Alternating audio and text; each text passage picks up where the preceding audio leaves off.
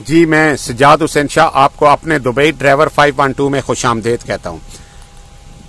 आज का हमारा टॉपिक होगा ट्रांसिट गाड़ियाँ कैसे जाती हैं गल्फ कंट्रीज़ में, एक मुल्क से दूसरे मुल्क में, और क्या क्या इनकी रिक्वायरमेंट्स होती है, आज की वीडियो इसी के बारे में आपको नॉलेज दिया जाएगा। अगर आप हमारे चैनल पर न्यू हैं तो हमारे चैनल को सब्सक्राइब लाजम कर लें। और बेल आइकन के बटन को प्रेस कर लें ताकि हर आने वाली मालूमती वीडियो आप लोगों तक बसानी पहुँच सके। वीडियो अल्लाह पाक के बाबरकत नाम से, जिसने इंसान को खूबसूरत शक्ल दी और इस दुनिया को खूबसूरत रंगों से भर दिया, हज़ारों नेमतें दी। ट्रांजिट का हम पहले थोड़ा सा आपको मतलब बता देते हैं। किसी चीज़ को एक जगह से दूसरी जगह तक कैरी करके ले जाना। उठा के ले जाना। चाहे वो मटेरियल हो, चाहे वो कोई भी लिक्विड हो। और उसके लिए तीन सोर्स इस्तेमाल किए जाते हैं। सबसे पहले तो जमीनी रास्ता जो होता है वो ट्रांसपोर्ट का होता है। ट्रक के ज़रिए मटेरियल को एक जगह से दूसरी जगह पे शिफ्ट किया जाता है।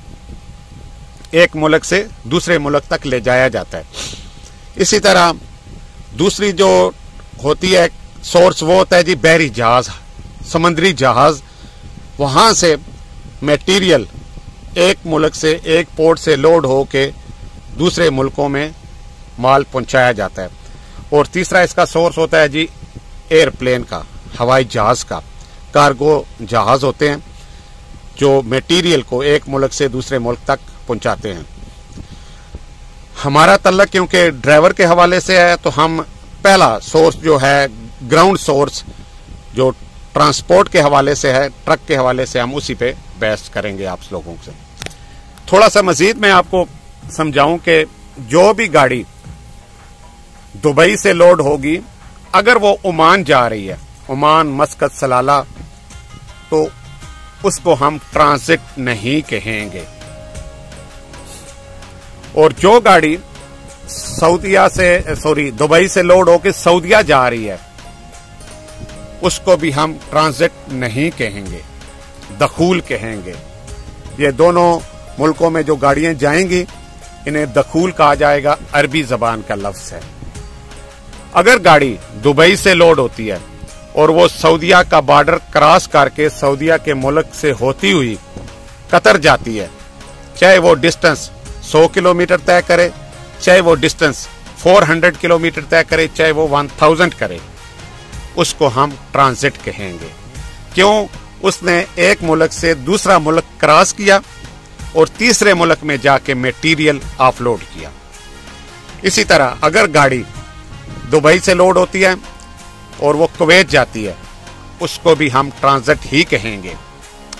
अगर गाड़ी दुबई से लोड होती है, सऊदिया से क्रॉस होती हुए वो बहरीन या जॉर्डन जाती है, तब भी वो गाड़ी ट्रांजिट ही होगी। हाँ अगर जो गाड़ी ओमान से लोड होकर दुबई आ रही है तो वो ट्रांजिट नहीं होगी। लेकिन अगर ओमान से गाड़ी लोड होकर दुबई का बॉर्डर, यूएई का बॉर्डर क्रॉस करके सऊदिया जाती है तब भी उसको हम ट्रांजिट ही कहेंगे। अच्छा ट्रांजिट गाड़ियों के लिए इन्होंने एक स्पेशल प्लेट लगाई होती है। येलो रंग की ये प्लेट होती है। गाड़ी के फ्रंट और बैक साइड पे इसका नस्ब होना बहुत ज़रूरी होता है। इसके ऊपर बकायदा एक स्टिकर सा और एक मोनोग्राम बना होता है ट्रांसिट का। और इसकी लंबाई और चौड़ाई तकरीबन 15 सेंटीमीटर से 18 सेंटीमीटर तक लंबाई और चौड़ाई होती है। इसके बगैर आप गाड़ी ट्रांसिट मुल्क में नहीं जा सकते। तो मजीद हम और भी थोड़ा सा आपको समझाएँ। आसानी रहेगी कि जब हम गल्फ में जीसीसी में, एक मुल्क से सिर्फ़ दूसरे मुल्क में इंटर होंगे, सिंगल कस्टम होगा और अगले मुल्क का कस्टम होगा तो फिर हम उसको ट्रांजिट नहीं बोलेंगे। लेकिन जितनी भी दुबई से गाड़ी लोड होके जाती है सिला बॉर्डर पे आती है, यहाँ से फिर बता बॉर्डर पे जाती है, जो सऊदिया का है मेन इंट्रेंस है। यहाँ अगर हम परसेंटेज काउंट करें तो 65 परसेंट गाड़ियाँ ट्रांसिट होती हैं।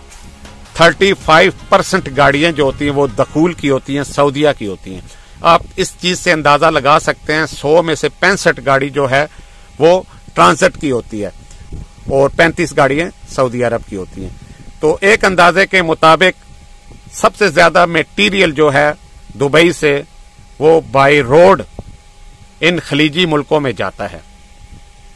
ये रब का भी निज़ाम है। खुराक है मटेरियल है, लोहा है, शीशा है लिक्विड है ऑयल है।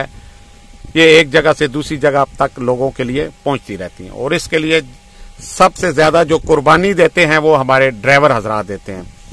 मैं इन्हें सल्यूट करता हूँ। क्योंकि बॉर्डर की मुश्किल का सामना करते हुए फिर कस्टम क्लियरेंस जितने भी मामला हैं, सबको बाखूबी अंजाम देने के बाद ये लोग मंजिल मकसूद तक गाड़ी पहुंचाते हैं और ये लोग तारीफ़ के काबिल हैं। तो बाकी हमारी हमेशा की तरह दुआएँ आपके साथ हैं। अल्लाह पाक आपको खुश और खरम रखे। हमें दें इजाज़त। अल्लाह हाफिज़।